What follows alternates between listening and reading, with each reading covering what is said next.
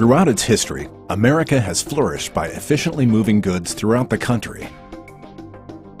18th century ports and inland waterways, railways of the 19th century, and interstates constructed in the early 20th century continue to be the foundation of today's transportation infrastructure.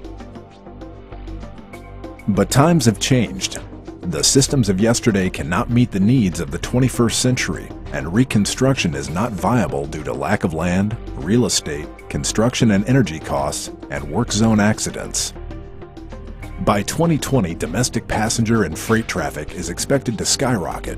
Without capacity to handle increased volumes, congestion will gridlock America's highways and limit productivity, and quality of life will suffer from increases in harmful emissions and a rising number of highway accidents.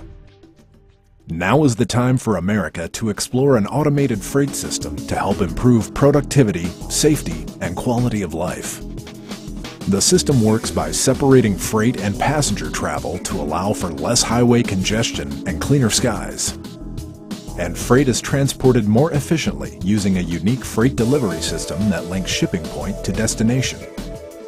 In this conceptual animation, a container is moved from a ship into the automated freight system. Powered by a localized and efficient energy source such as electricity or hydrogen fuel cells, the container travels either above or below ground as represented here within current transportation and utility right-of-ways. It moves at a high rate of speed to a centralized distribution center. Readers placed throughout the system and sensors or identification tags on the cargo give the communication center and users instant access to the location and status of the cargo as it travels. Upon arrival at the distribution center, workers transfer the cargo to a regional or localized freight movement system.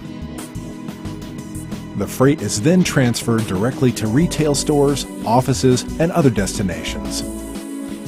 The system uses intelligent technologies to sort freight and process routing information. Automated Freight System.